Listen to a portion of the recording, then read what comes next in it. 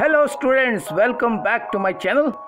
and we are studying reproduction और आज बारी है स्टार्ट करने की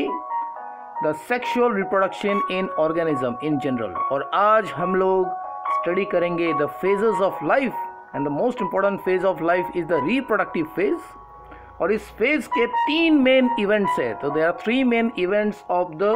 reproductive phase इसको हम लोग डिटेल में आप स्टडी करेंगे. तो रेडी हो जाइए स्टूडेंट्स